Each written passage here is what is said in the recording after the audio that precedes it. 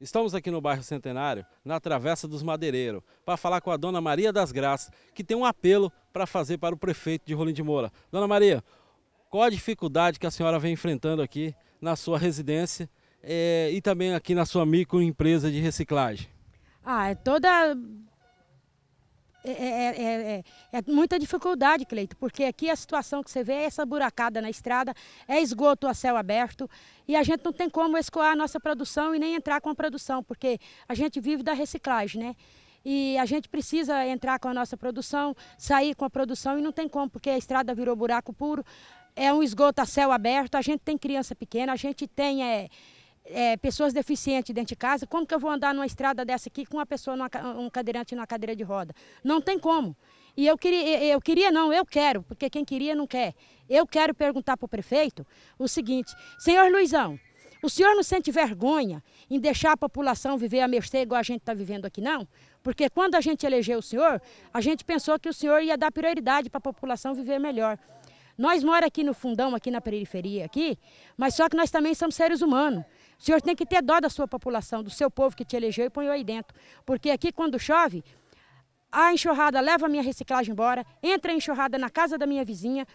E como é que fica a situação? O senhor, como prefeito, devia sentir vergonha de deixar a população viver a mercê igual nós estamos vivendo aqui.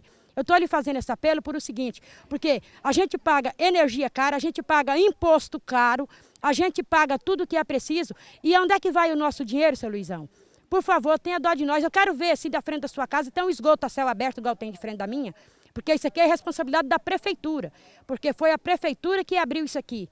E até quando vai viver desse jeito, seu Luizão? Por favor, tenha dó do povo trabalhador. O senhor está vendo esses braços aqui? Vive honestamente, não é roubando nada de ninguém, não. Eu vivo da reciclagem e eu preciso da minha reciclagem para me sobreviver.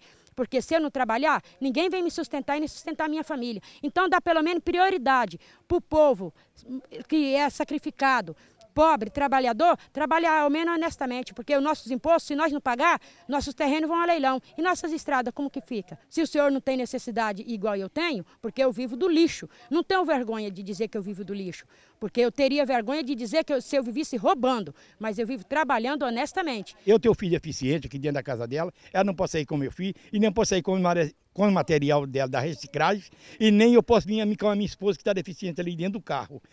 Por quê? Não tem jeito de eu entrar com o carro aqui. Não tem condições. O prefeito não faz nada, o vereador nada faz. Então eu acho que esse prefeito, ou ele tinha que sair, uma, botar outro no lugar dele, que saiba trabalhar, porque ele não sabe trabalhar. Ele não sabe trabalhar, não sei por causa de que esse prefeito ganhou e, e não está fazendo nada. Então é isso que eu digo para você, nós queremos que ele faz, bota manila aqui, tire esse aguaceiro daqui, essa buraqueira daqui, arrume isso aqui pelo menos. Ele cobra a taxa de energia, não tem energia na rua ele cobra a, a estrada, não tem estrada. Então o que, é que ele está fazendo? Ele só está sabendo chupar dinheiro do povo, porque eu mesmo pago IPTU, 800 conto de IPTU, taxa de lixo de 350. O ano atrasado eu paguei 450 de taxa de lixo, esse ano passado eu paguei 430 que eu parcelei, esse ano eu tornei parcelar, porque eu sou aposentado, eu não tenho onde viver, eu tenho que viver com meu aposentadoria, meu filho. Eu gasto mais de 500 conto de remédio por mês. Então, Gente, põe um prefeito ali, pelo amor de Deus. Eu, eu sou homem para dizer a verdade, porque eu cheguei aqui primeiro do que ele. Primeiro do que ele, eu cheguei aqui. E conheço o povo tudo de Rolim de Moura, sou pioneiro de, de Rolim de Moura, todo mundo me conhece. Aqui procurou para João Bigode, sou eu. Viu? Eu, eu, meu apelido é João Bigode. Com, sou, sou conhecido de todo mundo. Essa água tem que sair daqui, tem que ser arrumada isso aqui. Isso é uma pouca vergonha. Você quer que esse prefeito tenha vergonha na cara, não? Eu acho que ele é para ter vergonha na cara. E eu acho que esse prefeito não tem vergonha não, porque um homem vê um papel desse aqui, será que ele não passa aqui? Ele, ele, aqui ele não passa, eu tenho certeza que ele não vai passar. Eu tenho dois deficientes, um está aqui dentro da casa dele e outro está em casa, está na minha casa. Então o que, que eu faço? Eu não posso trazer minha velha aqui, você está vendo lá a pobrezinha, sendo arrastada de qualquer maneira, o filho também, quem lá em casa não pode passear, e sabendo que nós temos um prefeito. Cadê o dinheiro, seu prefeito, do estado de Rondônia, do município? Onde é que está? O gato comeu, Pois é, telespectadores, essa é a situação dos moradores aqui da Travessa dos Madeireiros. Com imagens de Júnior Moura, Cleito Cardoso, para o jornalismo da Estúdio Max TV.